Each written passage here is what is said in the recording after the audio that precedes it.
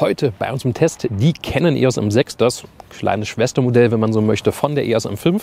Technisch fast identisch, allerdings 300 Euro günstiger. Wo es Einsparungen gab, das erfahrt ihr jetzt.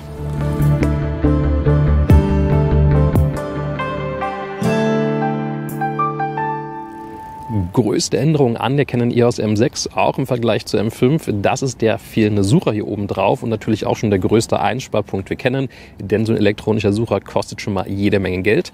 Das Display auf der Rückseite ist 0,2 Zoll kleiner und löst auch mit etwa 30 Prozent weniger Pixeln auf, sonst aber relativ gleich geblieben. Die Anordnung der Einstellräder hat man noch ein bisschen verändert, aber sonst ein gutes Gehäuse, Magnesium Grundbody ein bisschen erweitert um Kunststoff, fässt sich soweit gut an. Hier unten der Abdeckel für, die, für das Akkufach könnte noch ein bisschen schöner verarbeitet sein.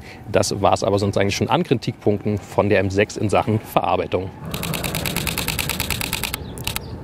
Hört ihr das? Das ist der Serienbildmodus der Canon EOS M6, gerade auch in WAR plus JPEG. Das heißt, jede Menge Daten, die er da abspeichern muss. Je nach Speicherkarte schafft ihr so zweieinhalb bis drei Bilder pro Sekunde, wenn der Puffer einmal voll ist. Davor geht es mit knapp sechs Bildern pro Sekunde nochmal deutlich flotter zur Werke.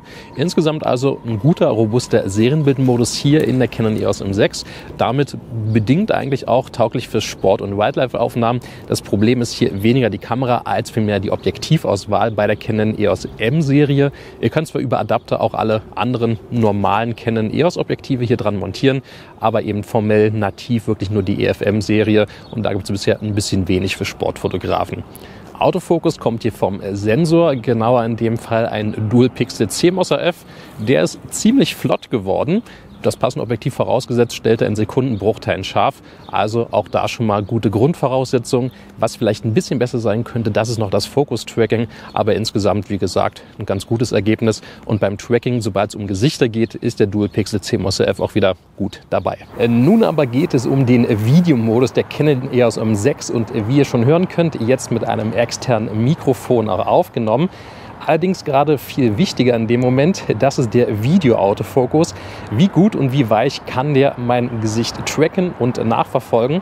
Und wie ihr schon sehen könnt, funktioniert das Ganze wirklich wieder sehr schön weich und fließend, zumindest wenn man denn ein STM-Objektiv auf die M6 draufgeschraubt hat.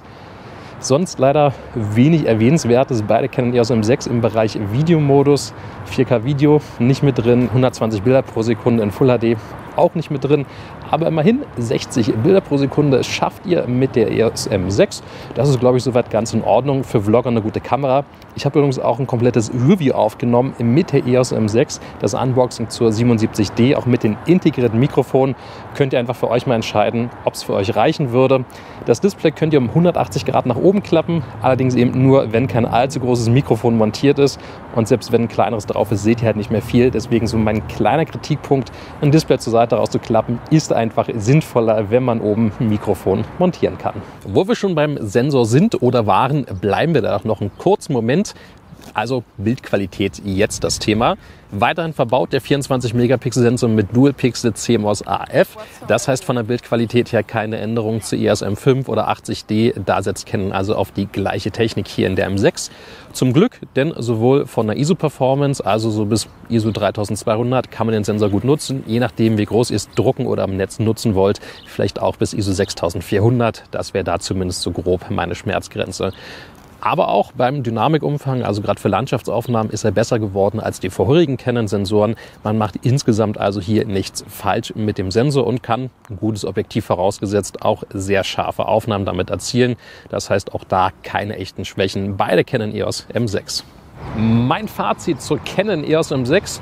Eine ziemlich robuste, kompakte Systemkamera Größter Unterschied zu M5, wie bereits eingangs erwähnt, das ist eigentlich nur der fehlende Sucher hier oben drauf. Damit spart ihr gleich mal 250, 300 Euro je nach Kit-Version, die ihr euch kauft.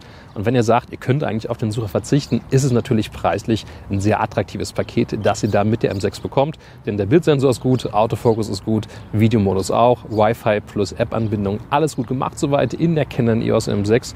Das heißt, es ist wirklich preis-leistungstechnisch deutlich besser als die M5, wenn ihr eben auf den Sucher verzichten könnt. Und von der Verarbeitung her ist es auch okay.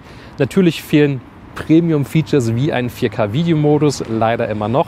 Das kann noch ein bisschen dauern, bis das endlich bei Canon kommen wird. Insgesamt aber, wie gesagt, von der Canon EOS M6 finde ich ein ganz überzeugendes Paket. Was sagt ihr? Schreibt es doch mal gerne unten in die Kommentare hinein.